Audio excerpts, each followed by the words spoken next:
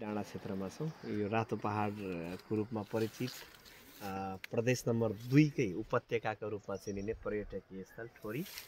ठोरीभित्रको यो गोले डाँडा क्षेत्र विशेष गरी गोले जातिहरूको बसोबास। खासमा ठोरी उपत्यका यो लगभग बिस बाइस हजार जनसङ्ख्या भए पनि सबै जस्तो जात जात जाति जस्तो बाहुन छेत्री त्यस्तै गरी तपाईँको चौधरी त्यस्तै गरी बोटे गोले तमाङ गुरुङ हरेक समुदायको बसोबास रहेको क्षेत्र यस यो डाँडामा चाहिँ बढी मात्रामा गोलेहरूको अझै पनि हामीले दुईवटा घरहरू देख्यौँ।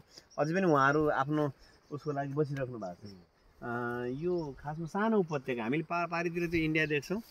इन्डिया हो पारिको? अँ, त्यो डाँडाबाट उता चाहिँ त्यो इन्डिया देख्छौँ। त्यस्तै गरी उनीहरू यहाँ आउने भनेको एउटा वाटर सोर्स राम्रो र हिल पहाड जुन एउटा हिलहरू छ त्यसको लागि चाहिँ यहाँ आउने गर्छन्। खोला पारी चाहिँ इन्डिया भयो? इन्डिया इन्डिया पऱ्यो हजुर।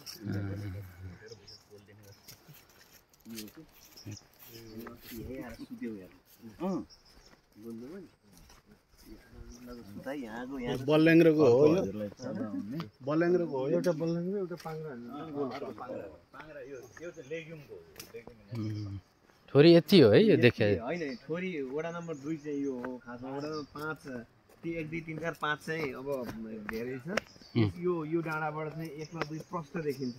एकदमै मनमोहक ठ्याक्कै तपाईँको चाहिँ कृषिमा आत्मनिर्भर भएको स्थान हो ठोरी। र मलाई लाग्छ यहाँका जनतालाई धेरै यो विषादी भन्ने पनि थाहा छैन। र। प्रायः जसो विषादी युक्तै विषादी मुक्त चाहिँ अब यो क्षेत्र घोषणा त भइसकेका छैन र पनि व्यवहारिक रूपमा चाहिँ यो जति पनि खेतीहरू भइराखेका छन् यो अर्ग्यानिक खेतीहरू हुने हेर्नुहोस्। अब यो त्यस्तो धेरै व्यवसायिक खेती पनि यहाँ गरिँदैन। र जति चाहिन्छ आफैलाई चाहिँ गर्ने परिपाटी छ। यो यो मासतिर चाहिँ यसको उत्तरी भूभाग पऱ्यो उत्तरी भूभाग हो। त्यो डाँडा देखिएको जुन। हामी चुरे क्षेत्र नेपालको हिसाबमा भन्नुपर्दा चुरे क्षेत्र त्योभन्दा उतापट्टि भण्डारा चितवन।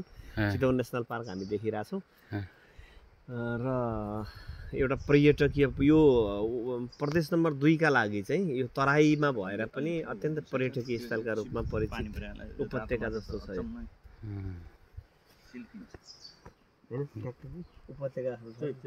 सानो उपत्यका रहेछ कि? यो यो खोलाको नाम चाहिँ के हो यो? यो यो यो यो धार्ने खोला भन्छ। यो खोलाको फेरि फेरि छुट्टै विशेषता छ। तपाईँ एक किलोमिटर माथि जानुभयो भने मूल पाउनुहुन्न। यो एक किलोमिटरमा यो आएको खोला हो। ए। यो भनेको अघि हामी जुन महेशजीको घरबाट हामी मासतिर लाग्यौँ त्यहाँ त्यो खोला थिएन नि त। खोला त हामी कहीँ नि भेटेनौँ नि त। त्यो बाटोबाट तलतिरका मूल यो खोला हुन् सबै भनेपछि यो क्षेत्र चाहिँ मूलको एउटा जोन हो क्या यो पानीको वाटर सोर्सको एउटा जोनै हो हजुरको यो। यो हजुरको यहीँ मूल उत्पादन भएको। हामी माथि त्यो हाइवे कटेर यसरी घुम्यौँ नि त। यसरी घुम्दाखेरि कहीँ पनि त्यो त्यो भनेको माथिबाट बगेर आएको एउटा पनि खोलाहरू होइन। सबै यहीँका मूल हुन्। त्यो कारणले गर्दाखेरि चाहिँ